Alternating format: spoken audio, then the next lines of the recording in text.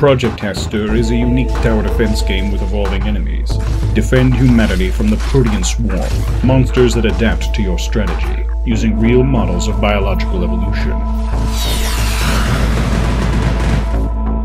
Choose which orbital weaponry and upgradable turrets you'll use to defend your base. Your decisions directly impact the traits that the enemies will evolve.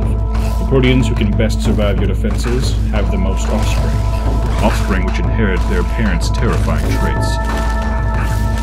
This evolutionary model is a form of procedural enemy generation, which creates a game experience unique to each player and each strategy. As you play through the campaign, discover the origin of the Protean invasion. Discover the secrets of the Project Hastur.